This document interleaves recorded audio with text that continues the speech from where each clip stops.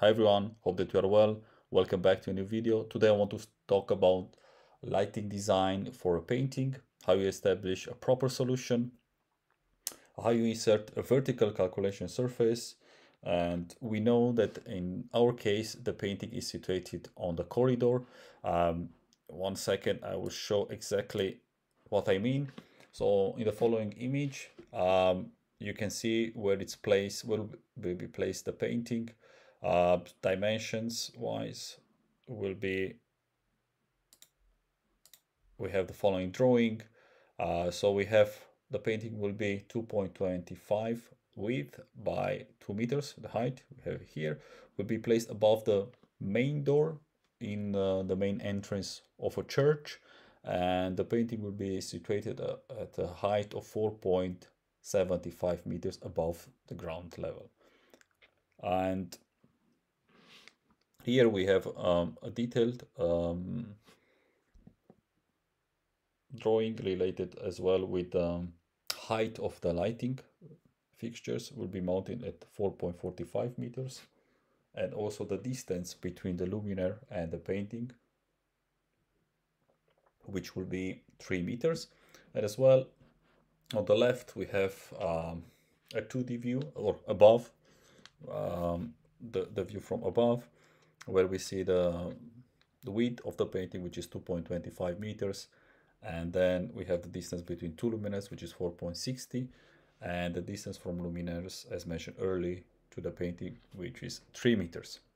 So with these details I made, I have introduced them into DIALux and created the following layout.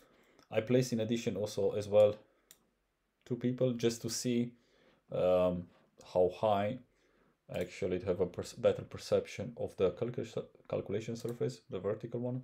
So the, calcul uh, the vertical calculation surface is representing the painting as you have seen it in the previous um, drawings. And how to introduce a calculation surface it's quite easy you go on the calculation objects and then you have the door rectangular calculation objects in this case you just simple draw based on your dimension. You can see it here. This will be the size and this and then you just rotate it by 90 degrees. And then you have it on, on vertical as I have it in my case. I don't need the horizontal one. We will go back in the 3d view and then I can you can see here the dimension of the vertical um, calculation surface, which actually is representing the painting. After I have established, um, introduced uh, the surface, the calculation surface, I move back to the lighting fixtures. I choose the following mini stage projector for this supplier and I place, I install it on the height of 4.45 as it was described in the in the previous drawing. And here also I use a symmetric um, lighting distribution, so nothing fancy in this case. And let's start the lighting calculation in DIALux and let's see the outcome. The main topic uh, or the main purpose is to have the best uniformity as high as possible, high being one, of course, that be the ideal. I don't expect to go so high, but we see that we have it here on 0.93, which I, I would say it's very, very good uniformity. And then also the illuminance on the perpendicular will have 135. So knowing that it's a church, it's used in the in the church. Um, so we, it's we don't have so much light, I would say. I will say the illuminance level um, it's enough to highlight the the painting situated on the wall.